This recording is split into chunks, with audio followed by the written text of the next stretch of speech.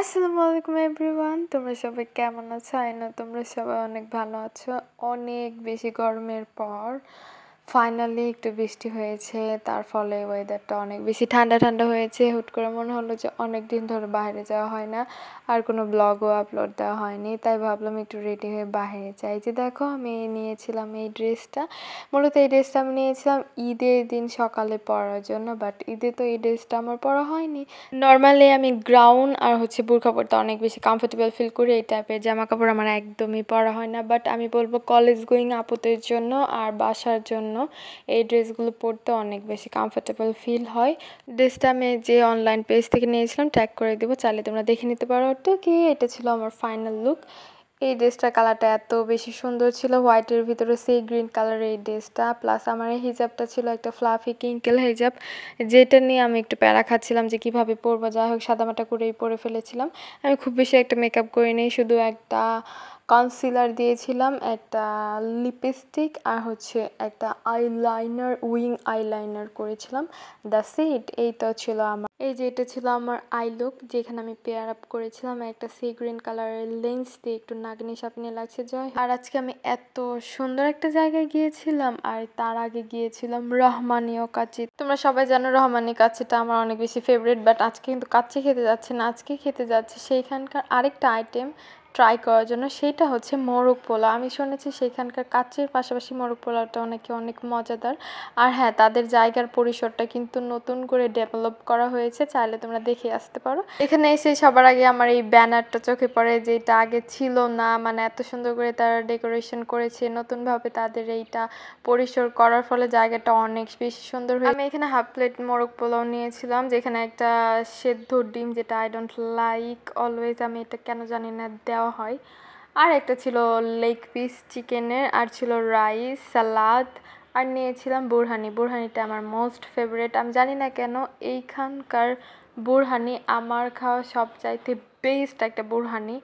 আমি কথাটা কেন বলছি? যদি তোমরা এখানে এসে কেউ বুরহানিটা খাও, তাহলে অবশ্যই বুঝতে পারবে আমি কেন বলছি। আর আমার মুখের এক্সপ্রেশন দেখেই বুঝতে পারবে যে এইখানকার বুরহানিটা আমার কাছে কী রকম পছন্দ? যাই হোক পাচাল পারতে পারতে আমি খাবারটা খাচ্ছিলাম, কারণ এখানে এত বেশি কোয়ান্টিটিতে তারা দিয়েছিল, আমার একার পক্ষে খাওয়া সম্ভব না। যাই হোক কথা বলতে বলতে আমি খাচ্ছিলাম। এই যে দেখো, বোরহানিটা যখন আমি মুখে দিই, আমার এক্সপ্রেশন দেখেই বুঝতে পারছি। রহমানের কাছেতে এসে আর কিছু খাইবার না খায়, আমাকে এক গ্লাস অবশ্যই বোরহানি খেতে হবে, যেটা মাস্ট হ্যাভ তো এখানে আমি খাবার খাচ্ছিলাম, খাবার দাবার শেষ করছিলাম, একটু তাড়াহুড়া করেই। যদিও আমি তাড়াহুড়া করছিলাম না, পাচাল পাটতে পারতে খাচ্ছিলাম। এরপর আমার মনে পড়ে গেলো আমি আরেকটা স্পটে যাব, সেইটা হচ্ছে অনেক সুন্দর একটা স্পট তোমরা ভিডিওটা দেখলেই বুঝতে পারবে এত সুন্দর একটা জায়গায় গিয়েছিলাম, যেইটা মানে আমার একটা ড্রিম ছিল যে এই ধরনের জায়গায় আমি যাব। এক পাশে ছিল নদী, এক পাশে ছিল বসার জায়গা, এক পাশে ছিল প্রকৃতির মাঝে এত সুন্দর একটা প্লেস এখানে এসে দেখি অ্যাক্সিডেন্টে এত সুন্দর সুন্দর রেস্টুরেন্ট সবগুলো ছিল একদম নদীর ধার ঘেঁষে। ওই যে ফুড স্টেশনটা তোমরা দেখলে ওটা তো তোমরা সবাই জানো, ঈদে আমি ওইখানে গিয়েছিলাম। এটা তার পাশে, এটার নাম হচ্ছে উডেন স্পাইসি। এটা এত সুন্দর একটা রেস্টুরেন্ট তোমরা জাস্ট দেখো, আমি সম্পূর্ণ ক্লিপ নিতে পারিনি, যেহেতু একটু হালকা হালকা রোদ ছিল। ভেবেছিলাম পরবর্তীতে একটু ভালো করে ভিডিও করব বাট তার হয়নি, আসার সময় দেখি সম্পূর্ণ এই যে যেগুলো দেখছ, এগুলো সম্পূর্ণ ভরে গিয়েছিল। এই যে দেখো, এক সাইডে এগুলো ছিল জবা ফুল গাছ, তার পিছনে, এর পিছনে একটা দোতলা বিশিষ্ট একটা কাঠের মানে কটেজ টাইপের ছিল। মানে এখানে না একটু গ্রাম টাইপের একটা ভাইবস দেয় মানে একটু কটেজ টাইপের ভাইবস এইখানকার যেহেতু নদীর ধারে এগুলা আর বিশাল পরিসরে তাদের এই রেস্টুরেন্টগুলো হয়ে থাকে। আমি না এই যে এই ভিতরে বসেছিলাম, এখানে এটা সম্পূর্ণ ছিল একটা গাছ মানে আস্ত গাছ কেটে আই থিঙ্ক তারা এই এই বসার এই জায়গাটা করেছিল। আর এই জবা ফুলগুলো এত সুন্দর, দেখো এখানে অনেক কালারফুল জবা ফুল ছিল ইয়েলো ছিল পিঙ্ক ছিল হোয়াইট ছিল। আমার লাইফে আমি এত কালারের জবা ফুলই দেখিনি।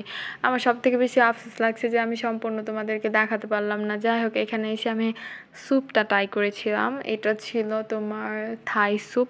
আমার লাইফে যদি সব থেকে বেশি কোথাও এসে থাকি, সেটা হচ্ছে এই জায়গাটা যেটা আমার বারবার আসতে ইচ্ছে করে। আর আমার মনে হয় আমি যদি বারবারও আসি, তবু আমার আফসোস নেই। এত সুন্দর একটা ভিউ তুমি দেখো, এখানে বসে বসে এরকম একটা থাই স্যুপ খাচ্ছিলাম। স্যুপটা কিন্তু অনেক ইয়ামি ইয়ামি ছিল, আর সাথে নিয়েছিলাম একটা ঠান্ডা।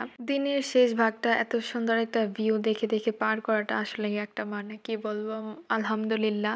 আমি সানসেট দেখতে অনেক বেশি পছন্দ করি। আমার দিনের শুরুটা যেমনই হোক না কেন, দিনের শেষটা আমার অনেক সুন্দর হতে হবে, না হলে আমার ভালো লাগে না। আর সানসেটটা জাস্ট তোমরা একটু দেখো মানে এত সুন্দর একটা সানসেট ছিল। সূর্য ডুবে ডুবে যাচ্ছিল, সেই সময় নৌকা যাচ্ছিল, আর এটা ভিতরে ইন্টেরিয়ালটা ছিল এরকম ছোটো ছোটো। বিশেষ করে এই জায়গাটা রাতের বেলাতে বেশি সুন্দর হয়ে থাকে, কারণ এখানে অনেক বেশি লাইটিংয়ের ব্যবস্থা করা হয়েছে। গাছ করে বাইরের টেবিল যেখানে ফালানো ছিল না, ওইখানে কাঠের সলিং দেওয়া ছিল। ওইখানে বসে যদি আমি তোমাদেরকে ভিউটা দেখাতে পারতাম, তাহলে আমার অনেক বেশি ভালো লাগতো। কারণ বর্ষাতে ইনশাল্লাহ বর্ষার সময় আরেকবার এখানে আমি আসা ট্রাই করব। কারণ নদীটা আরও বেশি ভরে যায়, নৌকা আর বড় বড় নৌকা এখান থেকে যেতে থাকে। এত সুন্দর! বৃষ্টি, বৃষ্টির দিনে বিশেষ করে আরও সুন্দর হয় এই জায়গাটা। তো আমি এরপরে রাস্তায় যাওয়ার সময় চোখে বলল সোডা এক গ্লাস সোডা খেতে খেতে বাসার দিকে রওনা দিলাম। তো আশা করি ভিডিওটা তোমাদের কেমন লেগেছে জানি না, যদি ভালো লেগে থাকে তাহলে অবশ্যই একটা লাইক কমেন্ট শেয়ার করে দিও। আর দেখা হবে আমার নেক্সট ভিডিওতে সেই পর্যন্ত আল্লাহ হাফেজ।